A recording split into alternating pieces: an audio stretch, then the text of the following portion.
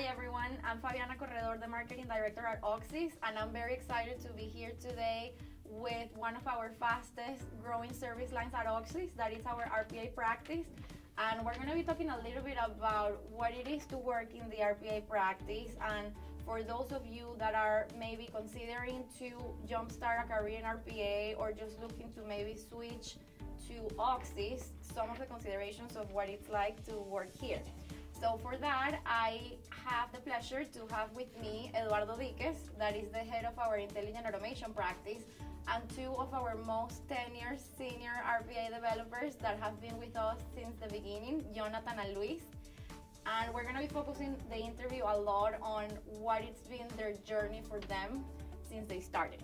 So let's just get right into it and let's start maybe with you, Jonathan. Um, tell us a little bit about your background. Like, how did you start at Auxis and how did you decide to join the RPA practice? All right. Um, so basically, I started as a service desk analyst. So my background has always been technical. Um, then I started growing. Uh, I moved to um, uh, level two team lead and then I actually moved. RPA actually opened, and um, so I moved. We, we actually started uh, kind of a, a, practice, right? So. Um, How long ago was that? I think like four years ago, if I'm not mistaken, right?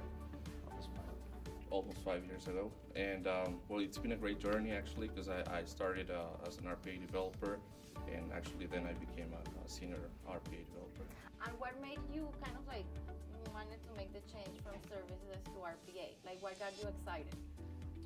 Well, actually, I, I investigated a little bit about RPA, and I saw that definitely that was like my career path. That's what I like, uh, like the innovation, learning new things, new challenges, and that's that's pretty great. That's basically what, what I like.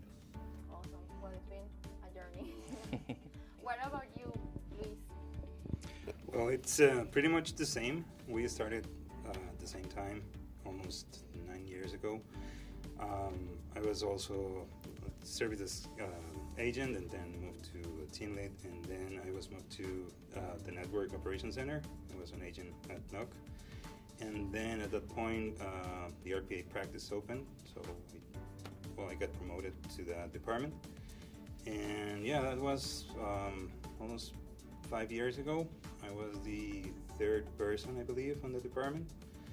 And yeah, well, the reason I moved there is because I was studying computer science, and well, it's pretty much um, development and that kind of thing. So I like that. Mm-hmm. So I think you know both both of you came from the service desk background, but I know Eddie, we also have other developers in the organization that maybe have come from backgrounds that are not necessarily as technical. So do you want to share maybe some of those backgrounds that are different? Sure, Fabi. So our team is, you know, we have people from every background, people that came from actual business operations, finance and accounting, even customer service, people that had no technical background in the past, and that's one of the beauties of RPA, uh, that you can really get trained uh, into the technology and that there's a lot of benefit of having different backgrounds as part of RPA because it's really a business-led solution.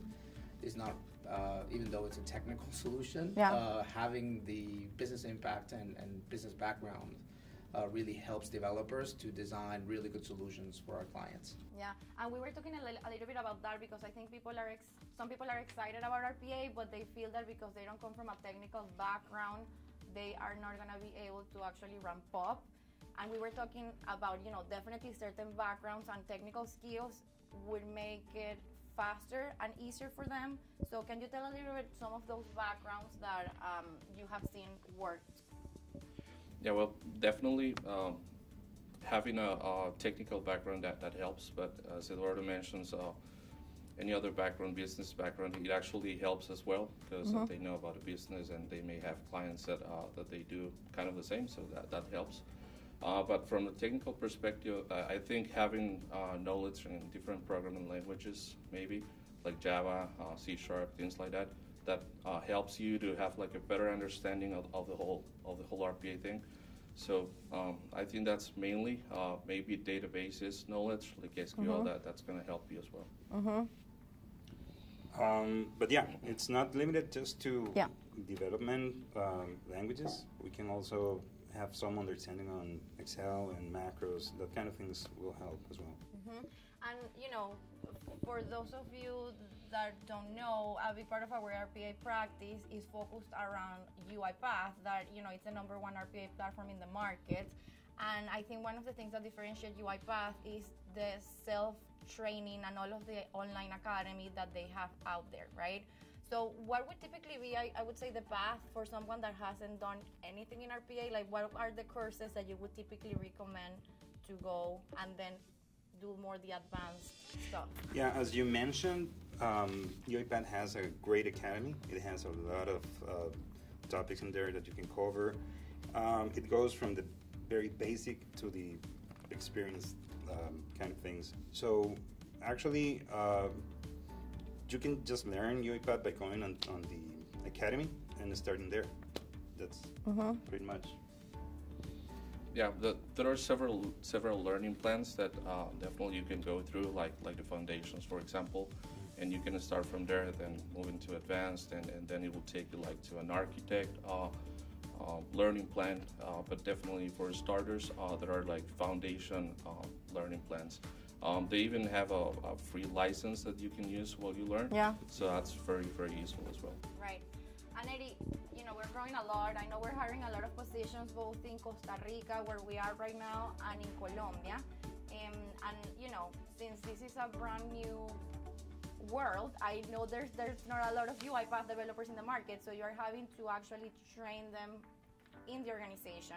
So do you want to talk a little bit about what are like the must-haves that you typically get when we hire from the beginning versus some of the things that we are more open to teaching them here when they join? Yes, so we definitely are growing really fast, and uh, for as much talent as the market is demanding, you can't hire uh, those people already from the market. You just won't find them. It's really even hard to keep them.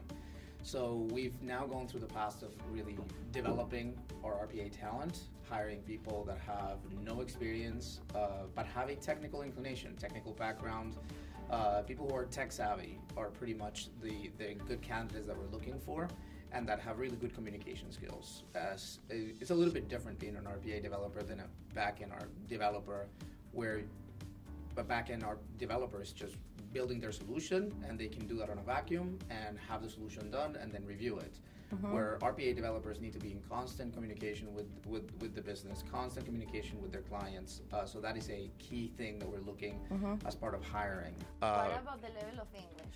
Yes, so a lot of what we do, naturally, as a US based organization that is providing services in a nearshore model to the United States, English is a keystone of what we expect for our developers to have.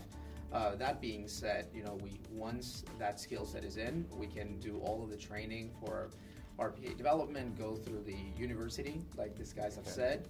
But then there's the next level, which is actually getting hands-on experience of how to actually build you know solutions that are real world useful to our clients and and that takes about you know six to eight months to mm-hmm. have a mm-hmm. really good RPA developer as part of the team that they can do solutions on their own that mm-hmm. do not require uh, a lot of the supervision of these guys that have a lot of experience.